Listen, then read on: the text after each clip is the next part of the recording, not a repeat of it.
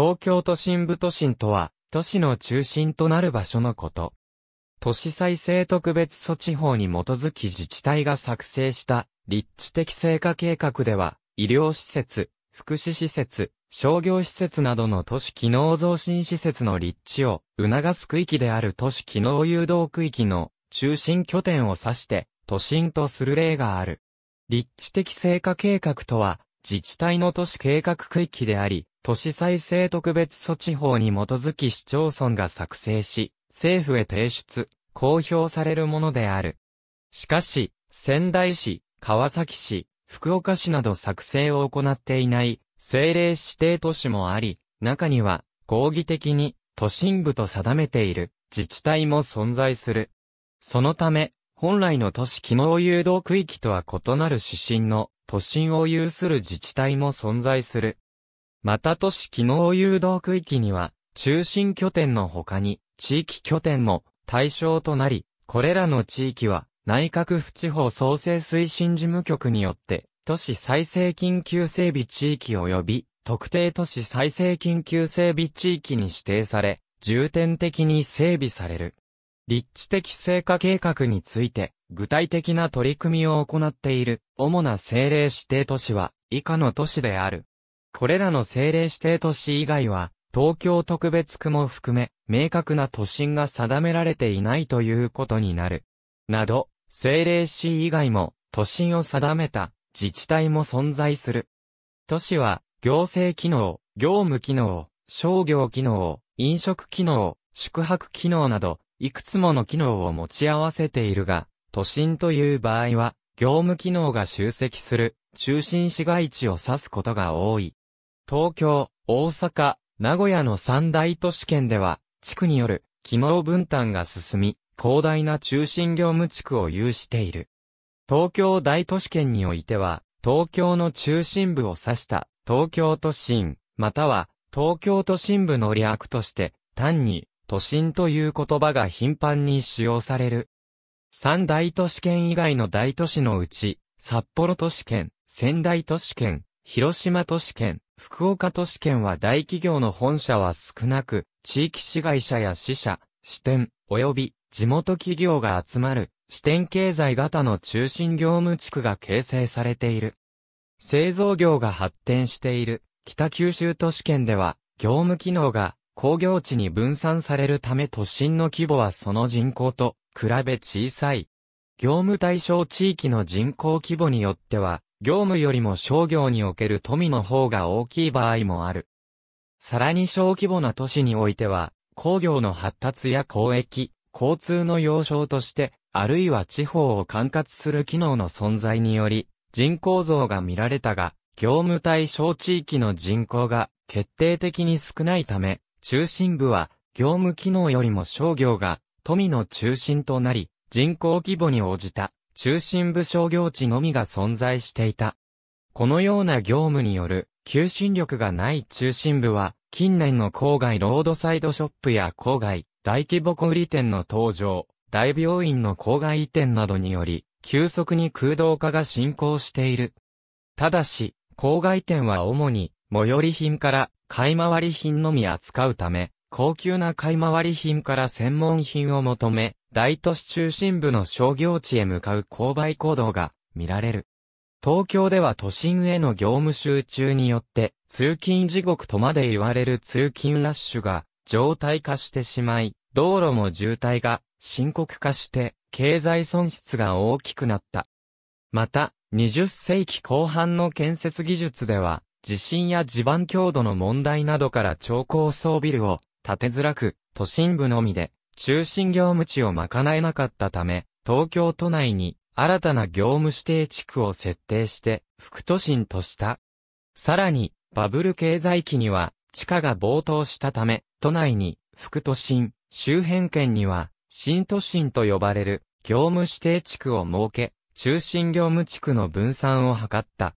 副都心以外でも郊外に新規開発をして都心を形成したところや都市の中心部を再開発して、都心の機能を高めたところを新都心と称することがある。東京近郊の新都心については、公設、東京林県の拠点地区を参照。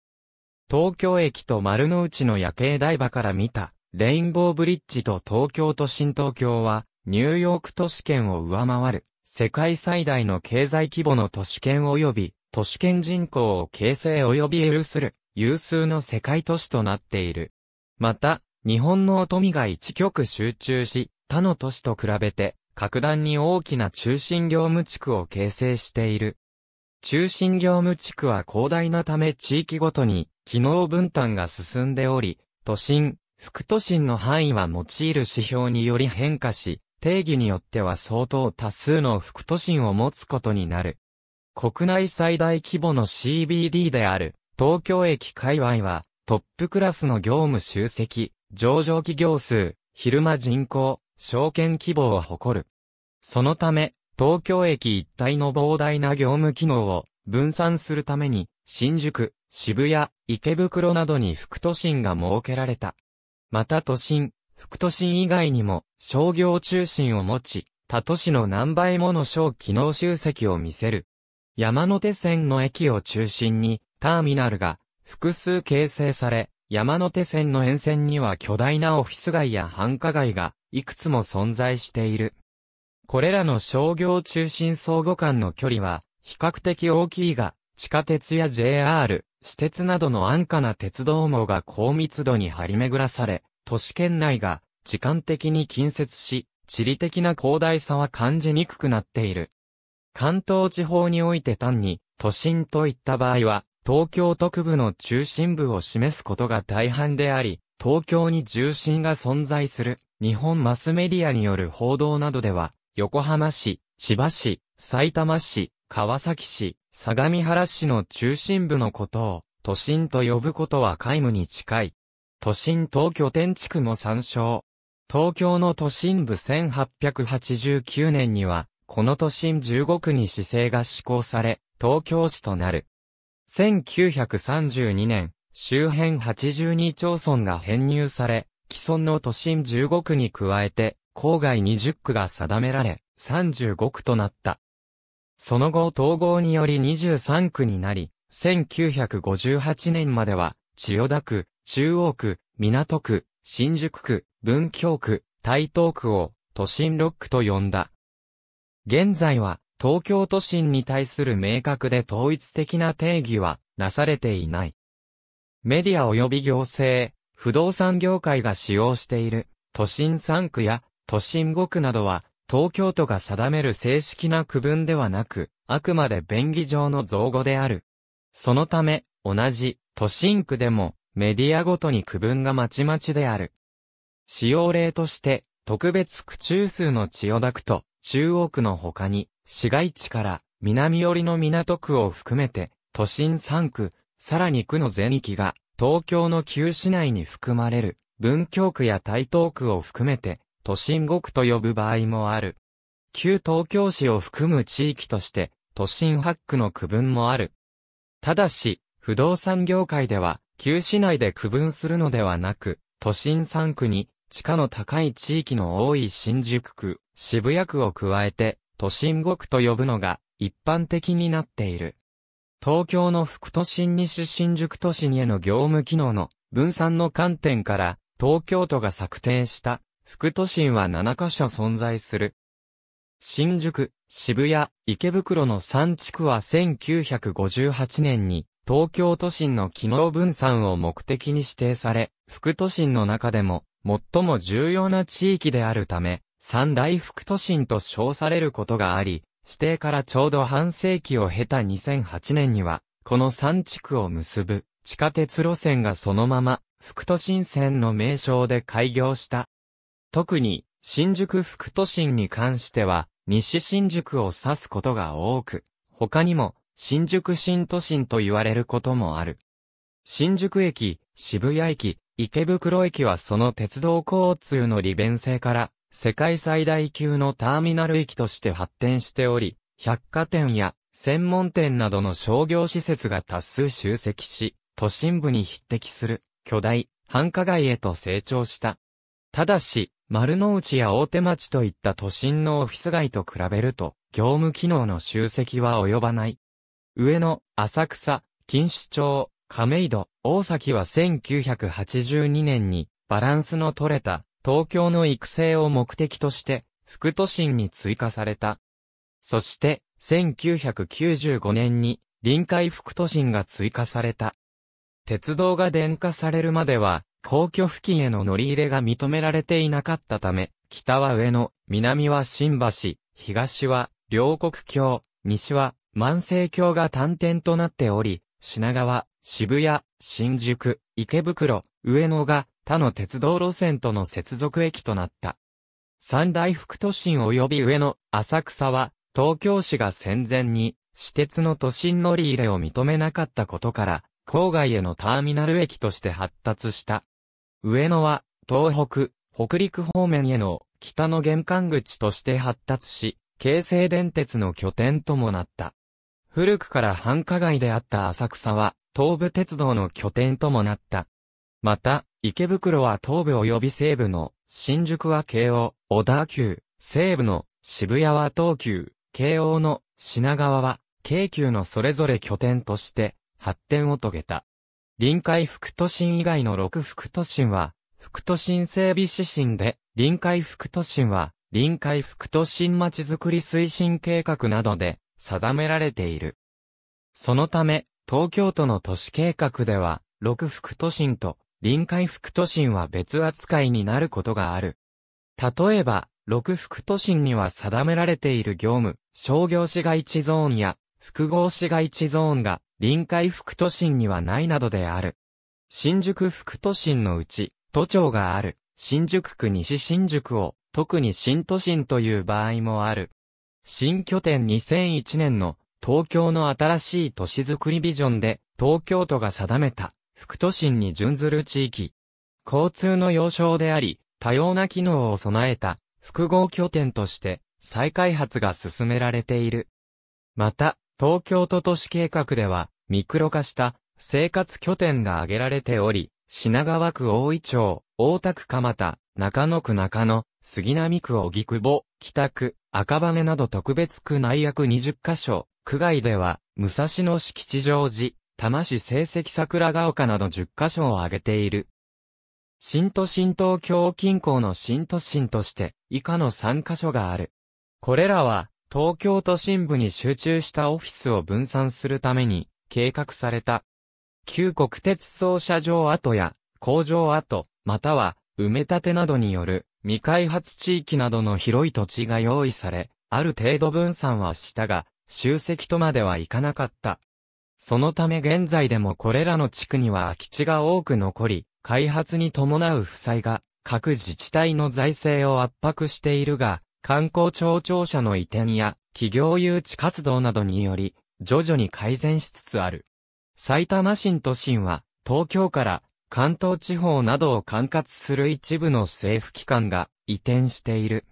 幕張新都心は、国内外の約450社の企業が活動するオフィスビル街となっており、業務機能や研究開発機能が集積している。港未来21は、港未来線が開通し、日産自動車といった大企業の本社誘致に成功している。また、埼玉市、千葉市、横浜市といった東京都心周辺に位置する各都市は、東京のベッドタウンとしての性格が比較的強く、県庁所在地及び政令指定都市であるにもかかわらず、都市中心部の求心力が低い。そのため、中夜間人口比率が100を下回っている。これらの新都心は、各都市の業務機能及び、各都市の求心力強化を図る狙いがある。埼玉市、埼玉新都心千葉市、幕張新都心横浜市、港未来21川崎市、武蔵小杉相模原市、橋本立地的成果計画、未作成立地的成果計画公表済み立地的成果計画未作成立地的成果計画、未作成立地的成果計画公表済み近畿圏は、主に、大阪市、京都市、神戸市を中心に、京阪新都市圏を形成しており、一般的にはその範囲は2府4県に及ぶ。日本で2番目に大きな都市圏であり、西日本の中心的地域でもある。また、世界有数の都市圏でもあり、人口規模はロサンゼルスに匹敵する。その中でも、特に大阪に中心業務機能が集中し、近畿圏におけるビジネスセンターとなっている。また、大阪市の都心部は大阪都心ロックと呼ばれる。これらは中世からの伝統的な都心である船場地区に加え、古代に大阪の都心であった上町地区、また、江戸時代に開発された下船場、中之島、道島、島の内などを包括している。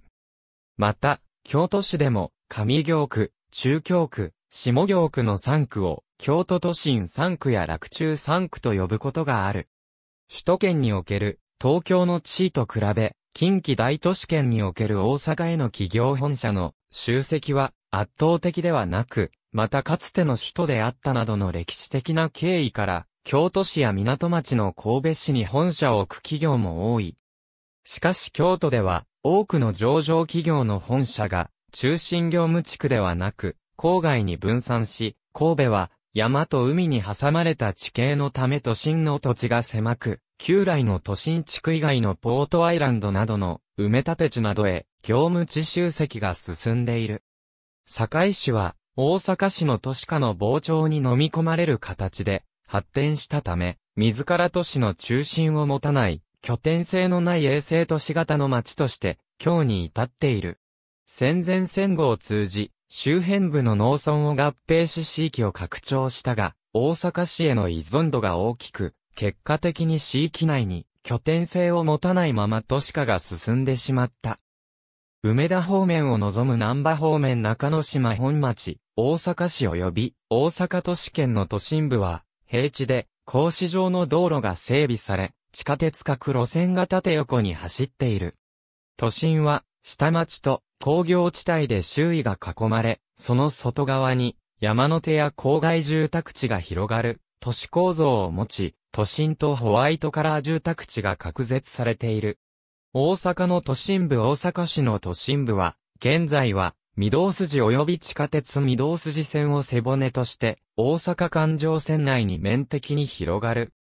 旧来の都心部は、境筋を中心として道島川以南、道頓堀川以北、東西はそれぞれ、横堀川に囲まれたエリアであったが、大正期に第七代大阪市長、関一によって、御堂筋の拡幅や、地下鉄御堂筋線の整備がなされ、戦後復興期の梅田エリアの整備もあり、御堂筋を中心として、北は梅田まで、南は南波までの地域を中心として、形成されるようになった。在阪大手私鉄の主要幹線は、実質的な延長路線を含めて考えると、すべての路線が、御堂筋線と接続しており、それぞれターミナルを形成している。大阪では梅田を中心とした北と南波、震災橋を中心とした南が二大繁華街に位置づけられており、特に南は、震災橋、南波、道頓堀、千日前などが、広域的かつ一体的な巨大な繁華街を形成している。北南以外にも天王寺、安倍野や新世界といった繁華街を持つ。関西圏では、神戸市や京都市には、大阪市に通勤通学する者も多くいるが、両都市に本社を持つ企業も多く、東京圏の埼玉市、千葉市、横浜市などと異なり、両市は、それぞれの都市圏を形成し、昼間人口比率も100を超えている。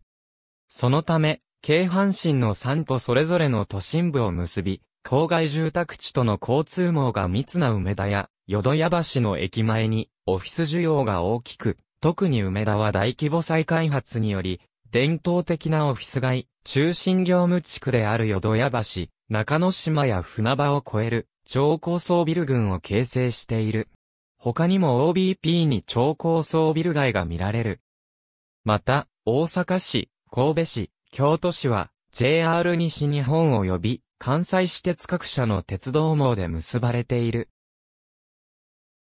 また、地下鉄御堂筋線と高速道路のような高架道路の新御堂筋をインフラとした新大阪、江坂、千里中央でも業務機能が集中し、副都心としての再開発が進んでいる。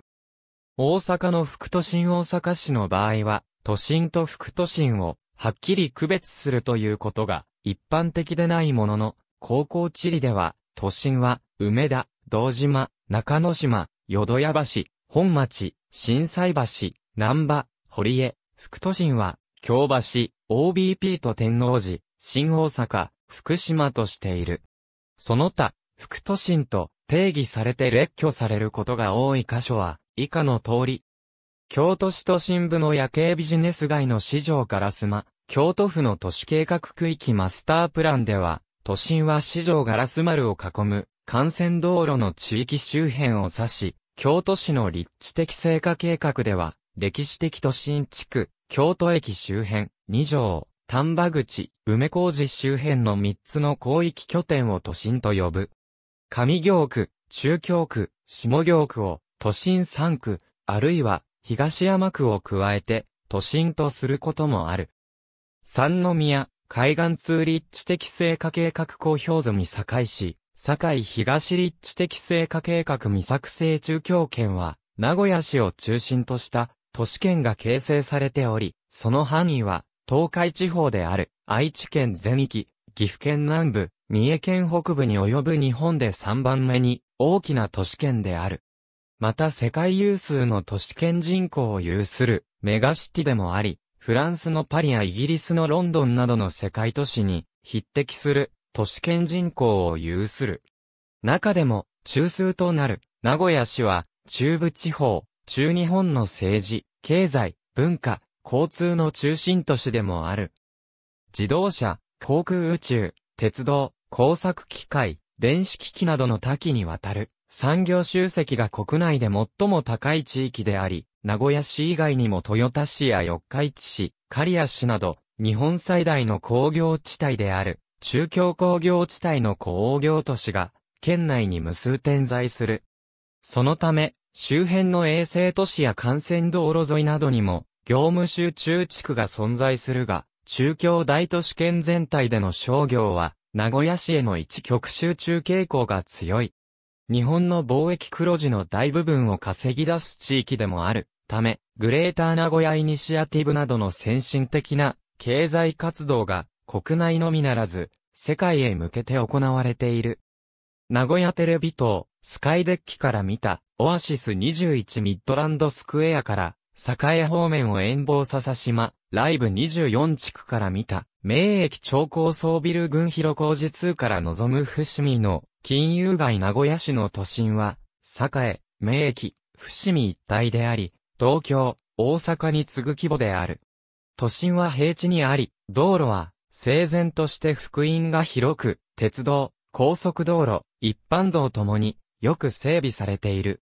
地下鉄などの公共交通機関もよく発達していたため、都心の一極的な高度利用への投資よりも、周辺業務地区が際限なく広がる傾向が強い。近年では、中部国際空港へのアクセスも良く、国家プロジェクトである、リニア中央新幹線が建設されるなど、鉄道の一大拠点である、名古屋駅周辺に、業務集積が進んでいるほか百貨店など、商業施設も充実してきている。1999年の JR セントラルタワーズ開業を契機に、近年の再開発により日本屈指の超高層ビル街にまで発展している。2005年の愛、地球博に合わせて交通網が格段に発達し、モータリゼーションが発達した周辺都市では商業機能がロードサイド化し、中部地方最大のショートである名古屋市への物販の集積が著しい。繁華街である、栄エリアには、ブランド直営路面店が軒を連ね、名駅エリアの高級デパートも拡充している。名古屋の都心名古屋の副都心名古屋の副都心は、地下鉄と JR、名鉄線との乗り換え客需要から大きく発達した、金山地区一つを正式に、副都心と定義している。1999年に、金山南ビルが、2005年に、アスナル金山が開業し、中部国際空港へ直通列車への乗り換え需要もあり、商業施設面積は大きく伸びた。その他にも、東部の今池は、古くから音楽や映画などのサブカルチャーの中心として、今でも芸能関係の施設が点在する。北部の大曽根などは、1997年に名古屋ドームが開場したことにより商業施設が建設され、証券として伸びを見せている。西部の笹島では、大規模再開発地区として、笹島ライブ24地区が新都心として再開発されグローバルゲートができるなど、今後の整備が注目されている。南部のベイエリアである、近城埠頭でも、レゴランド、ジャパンリゾートが開業し、名古屋市国際展示場の再開発や名古屋港、旅客ターミナルを近城埠頭駅東部へ移転する、再開発が計画され、今後の発展が注目される。地方中枢都市圏の都心部では、都市計画法に基づき、三大都市圏と同様にオフィスに加え中心駅や、その都市を代表する、繁華街、歓楽街、宿泊施設、観光スポットなどが連なっている。ただし、かつて都心にあった卸売企業に関しては、トラックによる都心の交通渋滞が問題になった高度経済成長期に流通地区を郊外に新設して移転させている都市もある。近年は都心回帰によりマンション建設も活発である。地方中枢都市圏は地場企業に加え、それぞれの地方全体を管轄する支店、死者も進出しているため、支店経済都市とも呼ばれてきたが、近年では、地方から三大都市圏へ支店を出す企業や、災害対策の一環として、本社機能を地方に分散する動きも増えている。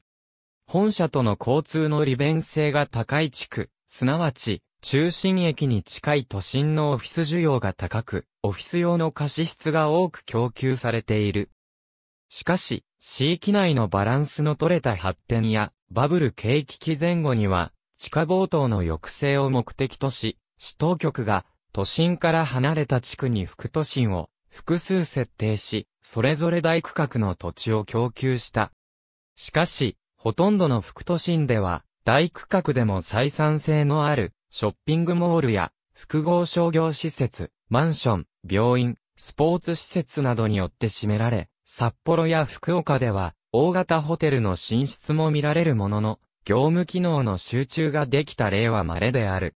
基本的には営業所需要、すなわち中小規模ビル需要がほとんどで、東京、名古屋、大阪の副都心とは異なりかなり小規模である。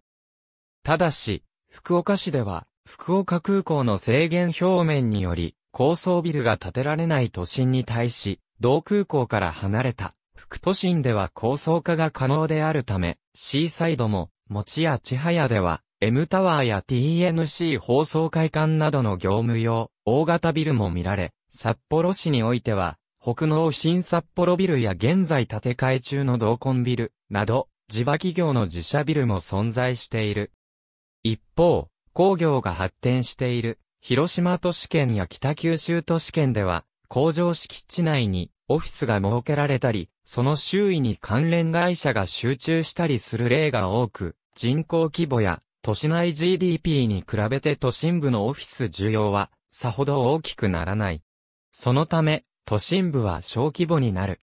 副都心は形成されないか、もしくは商業のみの集積地となる。札幌市都心、すすきの都心、大通公園副都心、新札幌副都心地域中心核、ことに立地的成果計画公表済み札幌駅、札幌市 CBD 札幌市は、立地的成果計画に基づいた、都市機能誘導区域を定義づけており、その面積は480ヘクタールである。地域交流拠点の総面積は530ヘクタールで、都市機能誘導区域の合計面積は1010ヘクタールにも上る。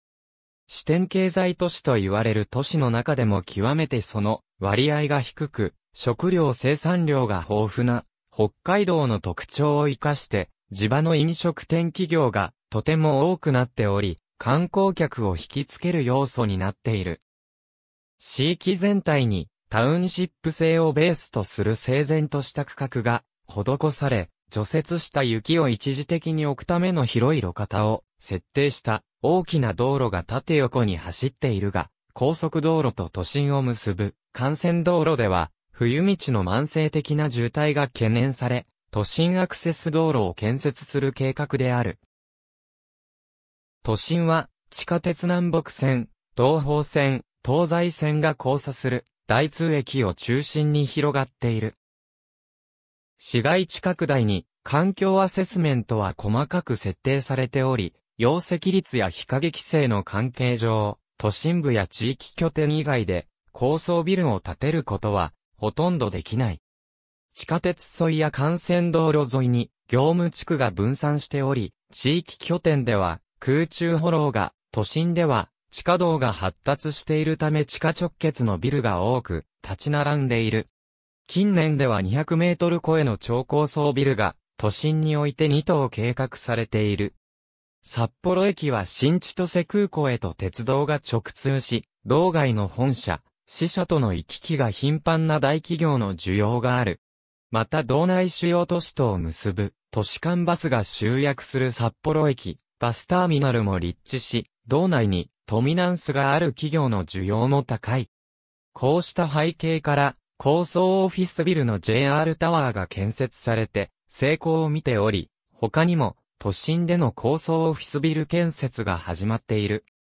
なお、都心には、札幌駅前以外にも、都市間バスの発着する大型バスターミナルとして、大通公園の東端付近に、札幌市交通局が、大通バスセンター、北海道中央バスが、札幌ターミナルを設置し、道内の鉄道インフラの弱さを補完している。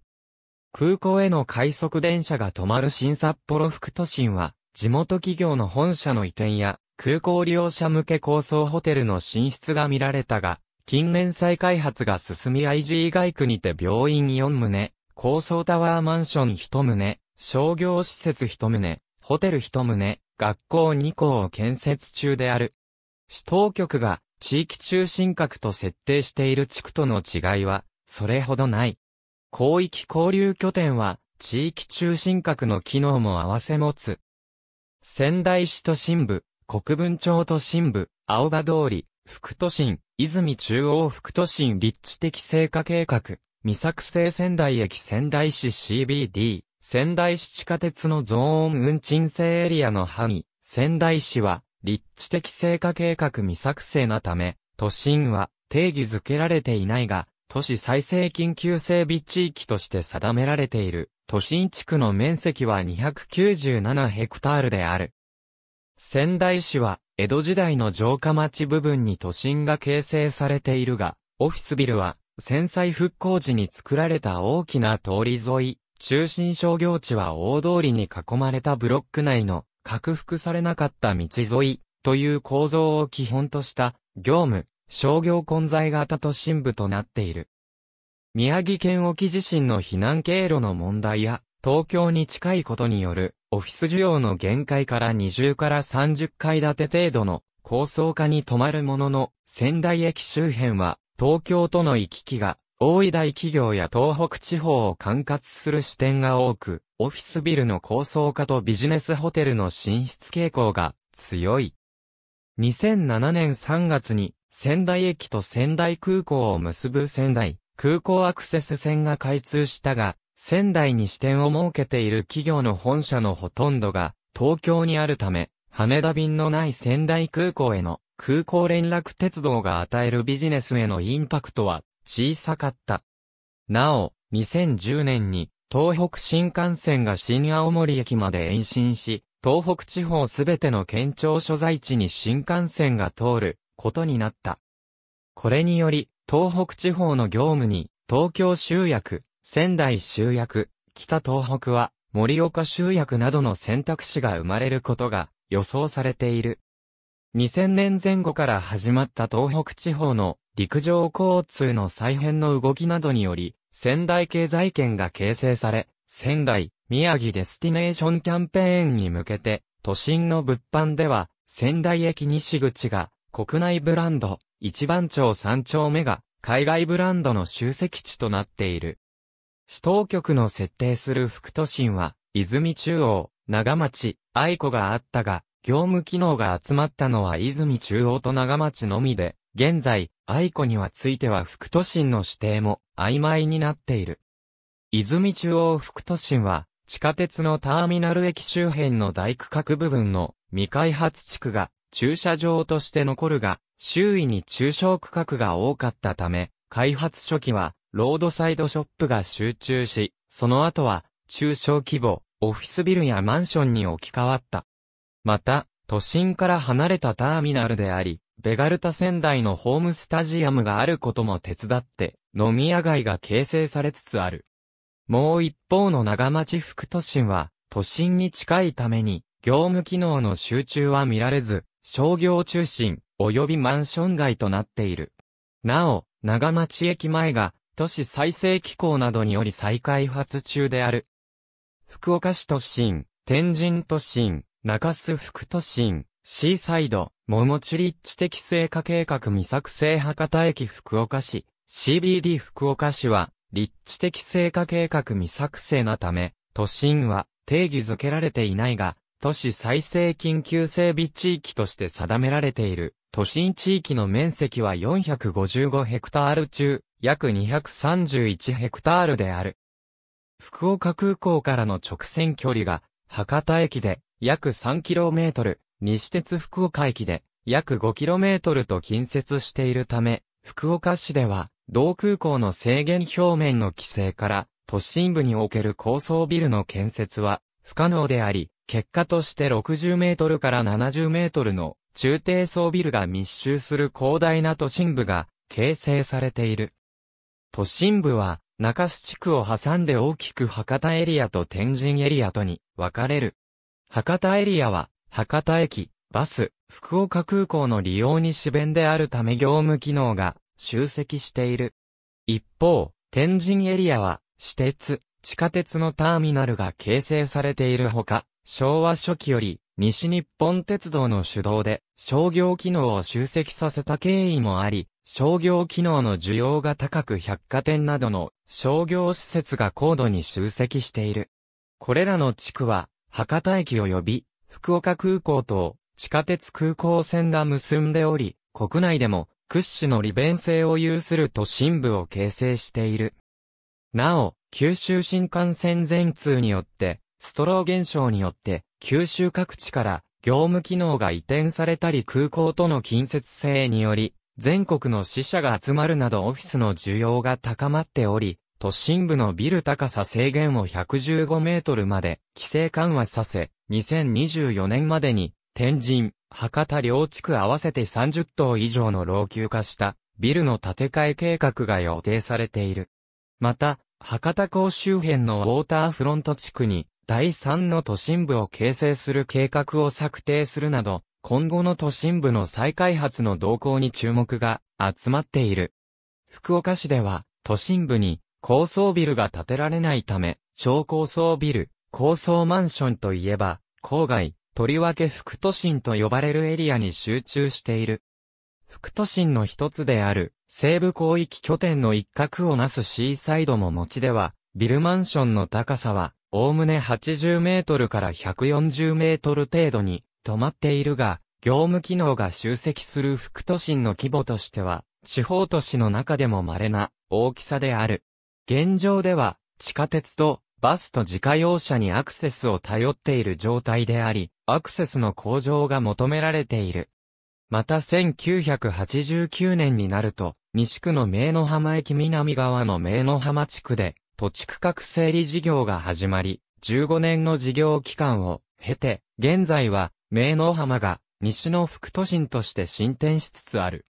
他の副都心としては、西部広域拠点として、沢楽西陣及び、藤崎、東部広域拠点として、東区、貸井及び、千早、南部広域拠点として、南区大橋がある。いずれも、業務の集積は少なく商業中心としての発達程度に止まっている。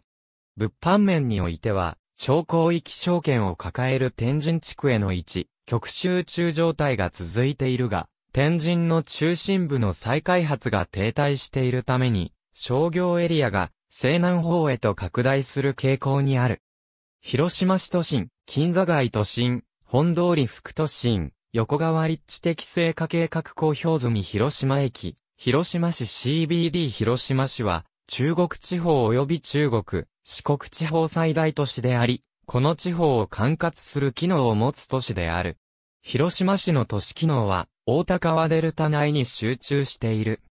都心部は、デルタの中北部にあり、北端が、広島駅北口周辺及び、県道84号、西端が、天満川、南端が、国道2号、東端が、ダンバラ再開発事業区域及び、東広島貨物駅貨物ヤード跡地で囲まれた地域である。広島空港移転によってビルの高層化が可能になったため、超高層ビルが広島駅前や平和大通り沿いなどに本社ビルホテルマンションが中心となり立ち並ぶ。鉄道では2002年から JR 西日本が広島シティネットワークを構築し、広域交通を担っている。広島駅は1日14万人が乗降する中国地方最大の駅である。近年では広島駅前再開発によって業務機能が広島駅周辺へ集積されつつある。また、広島電鉄においては1999年からは超低床車両の導入が始まった。これに加えて2001年に広電西広島駅の改良がなされ、2003年には横川駅において、広電の電停が、駅前広場に、移設の上に、駅前広場の改良整備が実施された。広島港でも広島港停留場が移設されるなど、都心への玄関口としての整備が進んだ。さらに、都市高速である広島高速道路も放射状の路線が整備され、郊外から都心へのアクセス向上が進んだ。一方で、1994年に広島アジア大会を機に、大高川デルタ内から広島空港を移転し、西風新都や東広島市に大学等の教育機関を多数移転させ、近年では広島市民球場を都心部から広島駅ヤード跡地へ移転させるなど、デルタ内の都市機能転換が進められている。なお、広島西飛行場は直線距離で神谷町交差点から約 5km と都心と近接しているものの、同空港では円錐表面及び外側水平表面が設定されておらず、水平表面が半径3000メートルと小さく設定されているため、都心の高層ビル等の高さは、同空港の制限表面による規制を受けない。北九州市都心、小倉駅周辺副都心、黒崎駅周辺立地的成果計画公表済み、北九州市は、高度経済成長期の1963年に、文字市、小倉市、若松市、八幡市、戸畑市の五市対等合併で発足した市であり、多角都市論に基づいて、9号市の近郊発展を目指してきたが、市政施行及び政令指定都市以降25周年を迎えた1988年に、北九州市ルネッサンス構想を策定し、小倉都心と黒崎副都心を中心とした集中型都市へと政策転換した。同構想において、都市軸の外に位置する地域では、文字港レトロ、北九州学術研究都市など、業務以外の都市機能集積が図られた。市が指定する小倉都心は、小倉駅を中心に、おおよそ国道3号、市道、原田カナダ1号線、指導県庁大門1号線、そして、小倉港の海岸線により囲まれるエリアで、面積は380ヘクタール。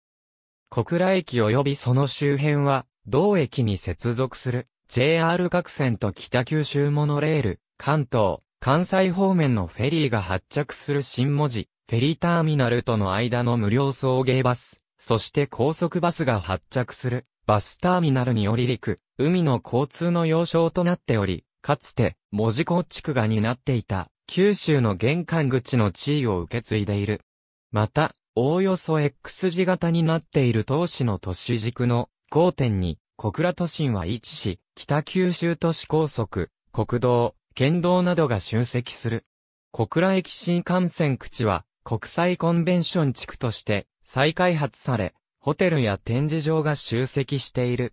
小倉駅小倉城口、かつ、紫川右岸は、当市の中心業務地区となっており、小区画に中低層のオフィスビルが密集して立ち並ぶ。また、魚町銀店街や単価市場をはじめとする25の商店街、市場がひしめき合う中心商業地区ともなっている。